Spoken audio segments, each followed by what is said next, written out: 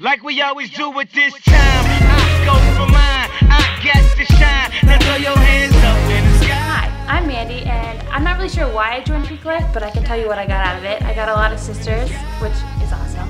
I got a lot of leadership opportunities that, you know, it matured me real quick, and I honestly wouldn't change it for the world. It's one of the best decisions I've ever made. How you doing? My name is Jimmy Mazansky. I'm president of Sigma Chi Fraternity it's given me that here on uh, passion in life YSU campus.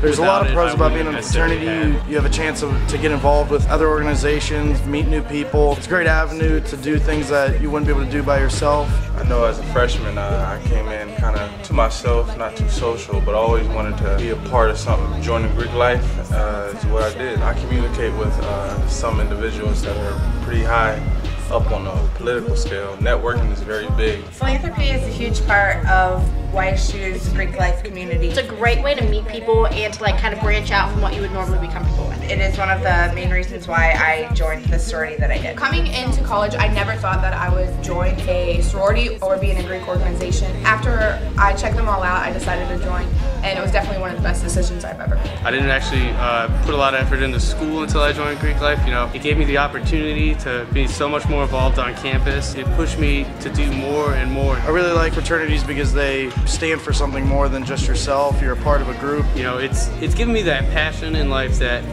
without it I wouldn't have necessarily had. Welcome to the good life, where we like the girls who ain't on TV, cause they got more than the models. The good life, so keep it coming with the bottles, so she feel booze